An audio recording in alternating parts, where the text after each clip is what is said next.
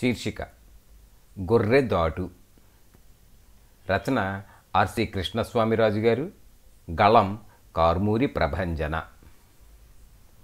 ఈ కథ విశాలాంధ్ర ఆదివారం అనుబంధం నవంబర్ రెండు వేల పంతొమ్మిదిలో ప్రచురించబడినది. అలాగే ఈ కథ ముగ్గురాళ్ళ మిట్ట అనే కథల సంపుటి నుండి కూడా గ్రహించబడినది. తిమ్మాపురం గెనాల మీద ఊగి ఊగి నడుస్తూ తాటిగేగులు తింటూ గొర్రెల మందని తోలుకెళ్తున్నాడు గొరవరాజు. సైకిల్లో గంప దొండకాయలు పెట్టుకుని వస్తున్న దొనకొండ దామోదరం ఎదురుపడి గురవరాజు మొన్న ఊర్లో జాతరకి జీవాలు దండిగా అమ్ముడై ఉంటాయి అప్పులన్నీ తీరిపోయినాయా? అని అడిగినాడు. దామోదరం అన్న నీకు తెలియందేముంది? ఒక ఖర్చు పోతే ఇంకొక ఖర్చు. ఒక గుంత తవ్వి ఇంకొక గుంత పూడ్చినట్లు ఉండాది పరిస్థితి. కర్రలేని వాడిని గొర్రైనా కరుస్తుందని పెద్దోళ్ళు చెప్పింది నిజమే కదన్నా? అని జవాబిచ్చి ఓయ్ ఓయ్! అంటూ గొర్రెల్ని అదిలిస్తూ ముగ్గురాళ్ళ మిట్ట వైపుగా వాటిని మళ్ళించినాడు. బ్యాగ్ ఎత్తుకొని వెళ్తున్న పోస్ట్ మ్యాన్ బ్రహ్మం చింత చెట్టు కింద నిలబడి చింతకాయలు తింటూ గురవరాజు బంగారం లాంటి జీవాలు కదబ్బా నీ జీవాలు? అని కనుబొమ్మలు ఎగురువేస్తా అనినాడు. బ్రహ్మవన్న ఊర్లో జీవాలు మేపుకునేవాళ్ళు పట్టిందల్లా బంగారం అవుతా ఉంది.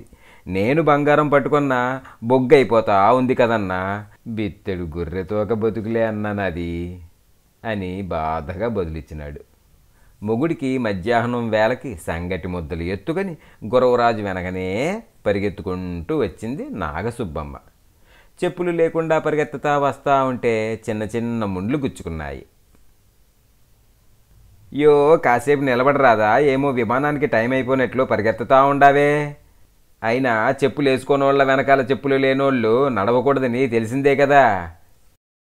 అని మొగుణ్ణి నిష్ఠూరం ఆడింది. గురవరాజు తన అరిగిపోయిన బాటా స్లిప్పర్ల కేసు చూసి నవ్వుకుంటూ తెల్ల మీసాలు నాలికతో నోట్లోకి లాక్కుంటూ నేరేడు చెట్టు కింద నిలబడి నేరేడు పండ్లు ఏరుకోసాగాడు. ఏటిగట్టున పొనగంటి ఆకు పెరగతా ఉన్న పుట్టాలమ్మ మొగుడు పెళ్ళాలు ఎక్కడికో షికారు బయలుదేరినారే అని వేళాకోలం ఆడింది.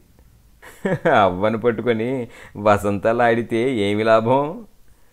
అని ముసిముసిగా నవ్వుతూ అన్నాడు గురవరాజు. ఏరిన నేరేడు పండ్లు ప్రియంగా పుట్టాలమ్మ చేతిలో పెట్టినాడు. గేగులు తినేది నిలిపేసి అక్కినే నాగేశ్వరరావు స్టైల్లో పొగాకు చెక్కలు నోట్లో పెట్టుకున్నాడు. అబ్బో సింగారం.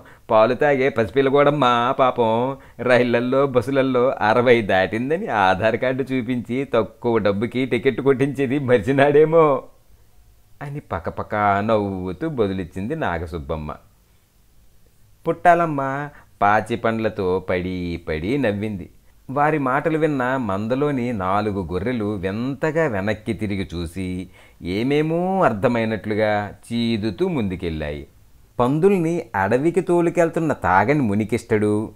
ఎనుముల్ని రాళ్ళవాగు కాడికి తోలుకెళ్తున్న తాగిన బాలకిష్టడు ఎదురు వచ్చినారు.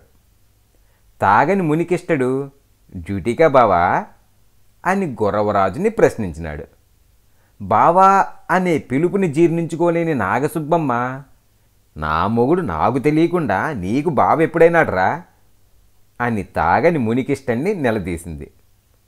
తమాషాకిలే లేక్క బక్కోడికి బలిసినోడు బావైతే బలిసినోడికి బక్కోడు బావలేక్క అంటూ తాగిన బాలకిష్టడు రంగస్థలం రామచరణ్ స్టెప్పులేస్తూ తాగని మునికిష్టడిని తోడుకొని వెళ్ళినాడు. నలుగురు ఎగిరెగిరి నవ్వినారు. ముగ్గురాళ్ళ మిట్టకాడ శివయ్యనోళ్ళ బావికాడ కొత్తగా వేసిన సబ్మెర్సిబుల్ పంపు సెట్టు నుంచి నీళ్ళు దబదబా దూకుతా ఉండాయి. నాయుడమ్మ తన కొడుకు కోటిగాడిని ముద్దు ముద్దుగా బుజ్జగిస్తా ఉంది. ఏమంట నాయుడమ్మ? అబ్బికి ఏం కావాలంట? అని అడిగింది నాగసుబ్బమ్మ. చూడు సుబ్బమ్మ వీడు తలకి నూనె అంటుకుని తలస్నానం చేస్తాడంట. తలకి నూనె అంటుకొని తలస్నానం చేస్తే నూనె అంతా కొట్టుకుపోతుంది తప్పితే నూనె ఏమైనా తలలోకి పోతుందా? కాసేపు అట్లా పంపు సెట్టు కింద తల పెడితే తల స్నానం చేసినట్లు అయిపోదా? అంటూ రాగాలు తీస్తూ చెప్పసాగింది. అదే అదనుగా అనుకున్న కోటిగాడు గోచి ఎగ్గట్టుకుంటూ పొదలోకి పరుగులు తీసినాడు. పక్కనున్న కానగ పుల్లని విరుచుకుని వాడి వెనకనే పరుగులు తీసింది నాయుడమ్మ. ఎగిరెగిరి నవ్వినారు గురవరాజు నాగసుబ్బమ్మలు. ఆలు మొగుళ్ళిద్దరూ గొర్రెల మందని తోలుకొని పక్కనున్న కాలవ కాడికి పోయినారు. కాలవకి ఆ పక్క నాలుగు చెరులోపల్లి కుక్కలు మూతులు అని పెట్టి గొర్రెల్ని చూసి మొరగసాగాయి. నా యాల్ది రోజు చూసే మనమందరిని చూసి మురుగుతాయా అవి కుక్కకు కూడేస్తే కూటికొండకే ముప్పని నా మేనమావ చెప్పేటోడు అంటూ గురవరాజు నాలుగు కాశీరాళ్ళు తీసి కుక్కలపైకి విసిరినాడు.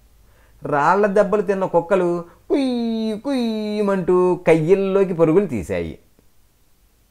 ఇరవై అడుగుల పొడవు ఉన్న కాలవలో మోకాలి లోతు కూడా లేని నీళ్ళల్లో ఆలు ముగుళ్ళెద్దరూ చిన్నగా దాటుతుంటే గొర్రెలు కూడా కాలవని దాటినాయి. కప్పలు కాలువలో నుంచి గట్టుపైకి గట్టు నుంచి కాలువలోకి దూకినాయి. గొర్రెలు కాలువల్లోకి రావడం చూసి ఈదులాడుతున్న బాతులన్నీ గొప్పగా ఒక మూలగా ఉండిపోయినాయి. ముగ్గురాళ్ళ మిట్టకాడ పొలాల దగ్గర పచ్చిక మాత్రమే ఉంది.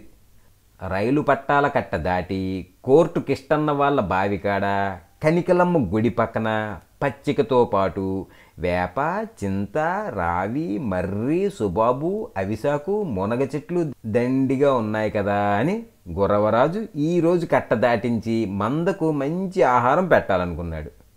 కట్ట ఎక్కిన గురవరాజుకి ఎదురుగా మద్రాసు నుంచి వచ్చే సప్తగిరి ఎక్స్ప్రెస్ రైలు కనిపించింది.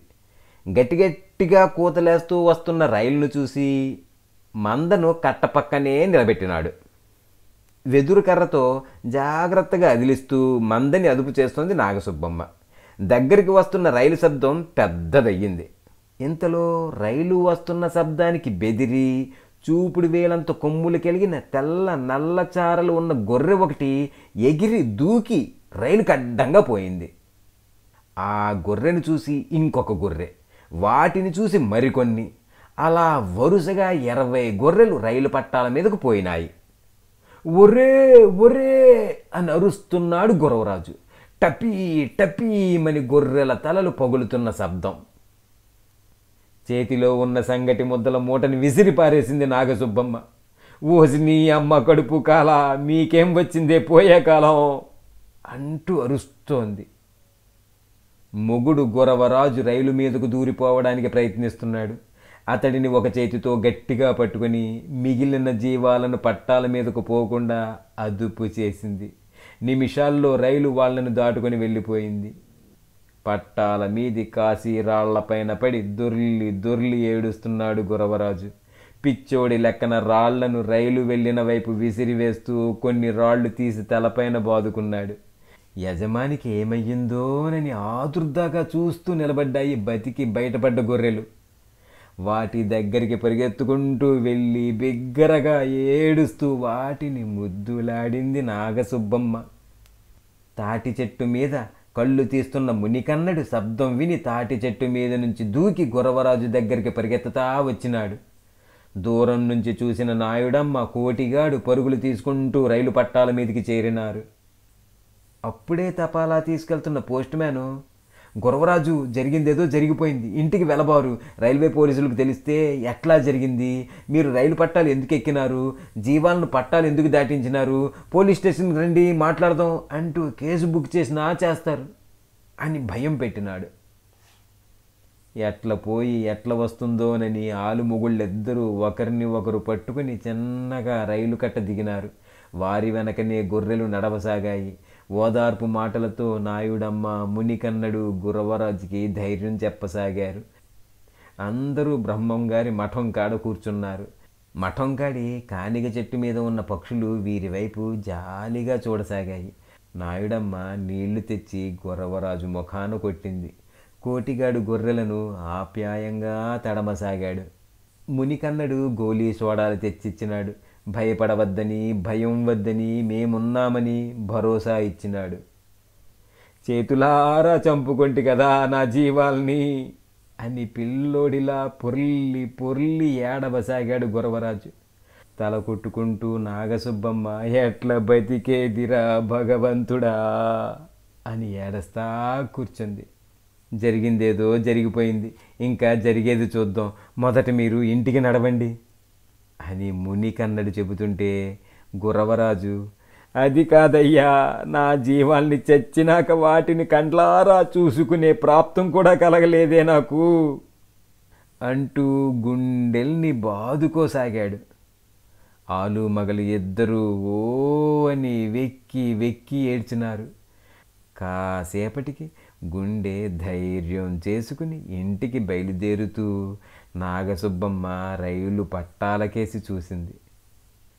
రైలు పట్టాల పక్కన కాలి బాటలో గుంపుగా నలుగురు ఆడవాళ్ళు ఇద్దరు మగవాళ్ళు నడిచి వెళ్తున్నారు. ఒంటిమిట్టలో శనిక్కాయలు పెరకను పోతున్న వారిలో తోరూరు తులసి గొర్రెలు రైలు కింద పడటం చూసి రైలు పోయిందే గబుక్కున పట్టాల మీదకు దూకి మాంసం ముద్దలు ఏరుకోసాగింది. ఆమెను చూసి నేసనూరు నాగలక్ష్మి గట్టు గుర్రమ్మ పైడిపల్లి పంకజములు చీర కొంగులు బొడ్డుకాడ దోపుకొని మాంసానికి ఎగబడ్డారు. సిద్ధులుగాడు పరంధాముడు పక్కనే ఉన్న బాదం చెట్టు ఎక్కి ఆకులు కోసినారు. అందరూ గొప్పగా చేరి మాంసాన్ని గొప్పగా పోసి భాగాలు పంచుకొని ఆకుల్లో పొట్లాలు కట్టసాగారు.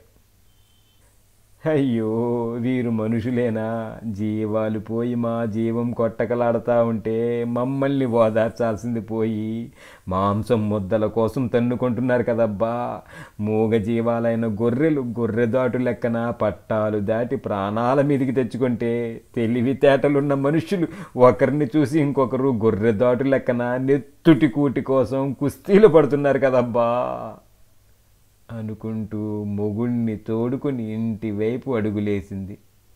వారి వెనకనే నడుస్తున్న గొర్రెల కళ్ళల్లోకి వాళ్ళు కళ్ళు పెట్టి చూడలేదు. కానీ ఆ గొర్రెల కళ్ళల్లోని కన్నీటి జారలు మానవ విలువల్ని ప్రశ్నించేట్లుగా ఉన్నాయి.